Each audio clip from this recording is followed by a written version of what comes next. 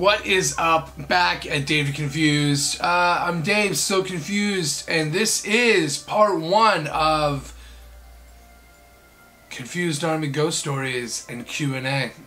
So my last video, and I think I did a story on it as well, and a community post where I asked you to send me either questions or a ghost story that you want me to read on the YouTube. And once again, you guys didn't disappoint, so thank you so much for everybody that submitted something. Now remember, if this is part one, so if you don't get your comment on this video, you might get it on part two. Who knows? And you should definitely comment down below a question or a ghost story for me to read in the next video. Okay, so let's just get into it. So the first one is a story from Anakin Skywalker. The Anakin Skywalker? Like Darth Vader? You're the guy? You're Anakin? I love your work. There was this one time where I was really young, so I don't remember, but my mom said we went to this church farm thing, and where the podium was, the priest was buried there, and there was a small bedroom, and it was the priest's bedroom, and it looked like someone was laying on the bed. So my mom pulled the covers, and nobody was there, and maybe about a week or so later, the same place we went to was on a Spanish ghost hunting show. So you went to this like church farm thing, like you said, and you had a little bit of a supernatural experience there. And then the farm church thing was on like a supernatural paranormal research show. That's crazy. That'd be pretty cool, like actually being there and then watching it on TV later and seeing people like experience the same thing you did. That's not a coincidence. Let's just say that's not a coincidence. That's actually a pretty cool thing. Uh, yeah, that's awesome. And creepy. I don't know what I would do if I went to like pull sheets down, there was nobody there. I'd freak. I would probably scream like a girl. Like a little girl. This one's from Typical Waffle Lover. I love that name. And I love waffles, so we have a lot in common. This happened yesterday at night. All good stories start like that. We were making a bonfire in my backyard and having a great time. After a while, we headed back inside. By 10 minutes, everybody was asleep, but me, I was not asleep. I tried so hard, but I kept hearing voices saying things like my sister's name. Can't say it does. Can't say it do. Okay. Anyway, then my mom went to the restroom and it called out my mom's name. Then it was 4 a.m. The time my dad goes to work. He left and again it called out his name. I was freaked, only because it kept calling for my family members, yet only I could hear it. Them and I kinda got worried for my dad because I couldn't see him at the moment since he was busy. I told everyone they and but they didn't believe me. By the way, today it said hello, and this time my little cousin heard it too. Oh. So it definitely sounds like this uh, ghost is trying to get your attention. Uh, trying to get some attention from somebody in your house, almost anybody. It's trying to make their presence known. That's what it sounds like to me. Um, and that kind of like solidifies it that your cousin heard it too. So that's actually pretty crazy. You should try answering back and see what happens, or like leave a note and see what happens. Okay, this one's from Disco Dog. Okay, so I was at a hotel and I heard a scream, but my family didn't. So I thought it was just my ears, and then later we found out there was a fourth floor, but there didn't appear but it didn't appear on the outside, so of course we went to investigate. It was colder up there than the than the tea of the place, and we heard weird noises and footsteps when we went walking. Then before we went up there, this girl looked at us like we shouldn't go up there. To top it off, we heard children laughing. No one was on the floor but us. And we came to the conclusion it was a floor it was a floor of ghosts.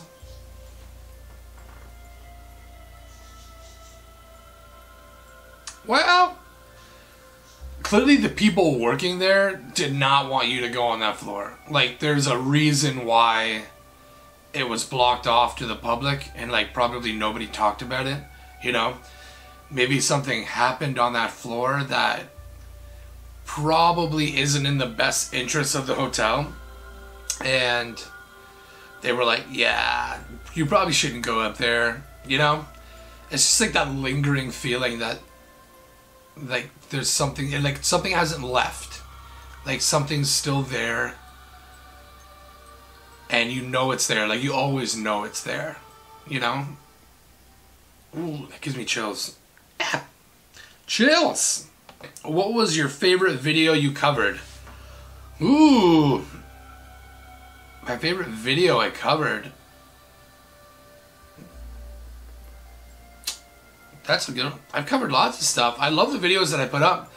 Uh, literally because I just like entertaining people and I like making people laugh and making people think. Uh, and uh, this is a great platform to do that. And I have the best fan base on YouTube. So I couldn't tell you what was my favorite video. Um, I have a lot of fun doing like covering the horrors and stuff like that.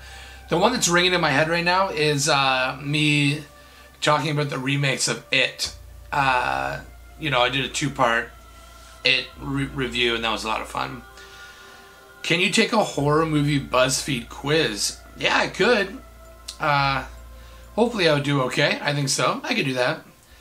Can you do another collab with Jessii? Always. Jessii's my cousin, and she's incredible. Like, you go to her channel it's not a coincidence she has 2 million something subscribers or like almost 2 million or whatever because she's so good at what she does and uh, yeah every once in a while we try to do a collab um, because of covid and, and, and things like that we kind of do it like digitally right now but when things kind of settle out hopefully um, yeah we'll get in the studio together and do another collab can you cover the conjuring stories if you haven't already i knew so i don't know if you have done it already uh, yeah, I'll probably could do kind of like a storyline of The Conjuring and kind of like explain it to everybody so it's understood better. I love The Conjuring movies. They're some. It's like one of my favorite franchises.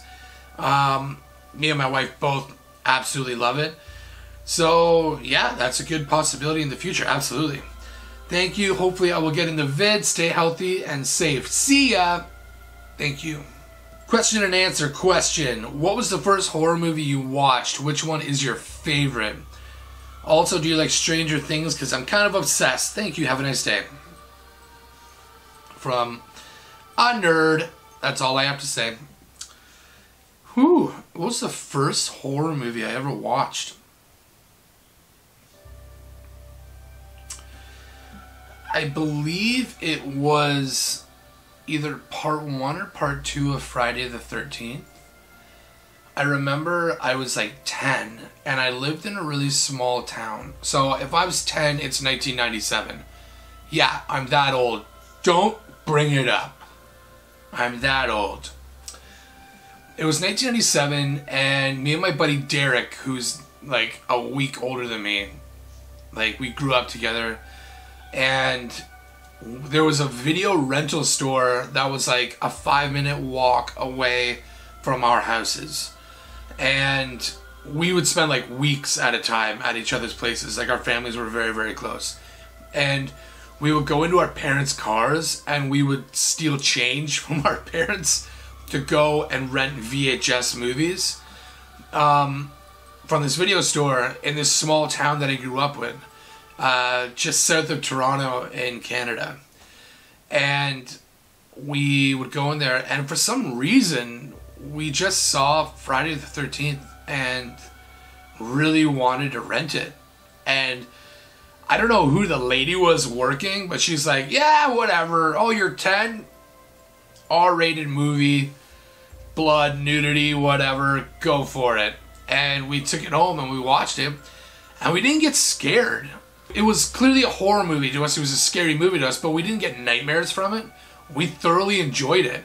And then it was almost like every weekend we kept going back and renting a new VHS. And we watched eventually all the Friday the 13th, all the Nightmare on Elm Street, all the Leprechauns. We did a couple Child's Play, a couple Hellraiser. We did Pumpkinhead. uh, with Gremlins, uh, Critters, um, Puppet Master was another one. Like we just kept going and going and going, right? Uh, and Wayne's World, obviously Wayne's World.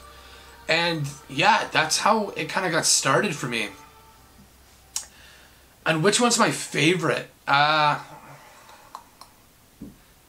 my wife asked me this the other day. My wife asked me the other day which horror movie would I consider to be my favorite horror movie. And I that it changes all the time. I know it does. It changes all the time. But I would have to say if I had to like right now on the moment put my finger on it, I think it would be a tie between Jaws, the original Jaws, and the original It with Tim Curry. Um, I know those are older movies, but I just I love them so much, and I still really enjoy watching them today. And uh, so I think that would be probably, yeah, that would probably be my top right now. But that's deemed to change. It depends on the mood I'm in, and you know, like ask me tomorrow, it might be a different answer. So. And do I like Stranger Things? Yeah, Stranger Things is awesome. I haven't finished it all yet because I'm one of these guys that watch like several shows at once and I get into my head and then I like get addicted to a show and then for some reason I stop and start another show and it's it's not a good way. It's not a good way to live. It's not a good. It's not healthy, but that's what I do. Um, but everything I've seen on Stranger Things is so good. I love the aspect of the kids having to kind of save the world, and uh, the D and D aspects and, and everything, and and yeah, everything about that show is incredible. It's one of the best on Netflix, if not one of the best horror shows around. So it's up there with like Supernatural. Uh, you know, it's awesome. I love it. Love it. Well, that's the end of part one of the Q&A Ghost Stories video. I think this is number five that we've done. Um, so thank you so much for everybody that submitted a question or a story. I really, really appreciate it. If you have a question or a story, leave it in the comments below and share this video.